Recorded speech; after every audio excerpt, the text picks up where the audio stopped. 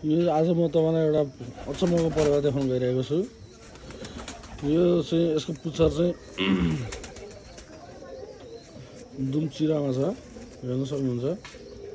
अरूको पुच्छर यस्तो हुँदैन। यो चाहिँ धेरै परेवाहरूमा कुनै कुनै परेवा चाहिँ यस्तो निक्लिन्छ यसको पुच्छर चाहिँ यस्तो छ। बिचबाट चाहिँ यस्तो एउटा दुम चाहिँ यसरी। चिरा परेर निक्लेको छ। यसलाई चाहिँ दुमचिर परेर भन्छ यो चाहिँ अब जेनेटिकल्ली कुनै कुनै परेवा यस्तो निक्लिन्छ तर यस्तो मान्यता चाहिँ के छ भने यो परेवा चाहिँ एकदम राम्रो उड्छ चाँडै माथि जान्छ भन्ने विश्वास मानिन्छ।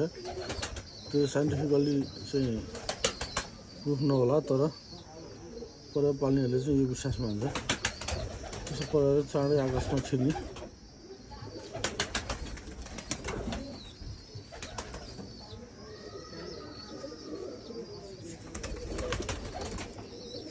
यस्तो हुन्छ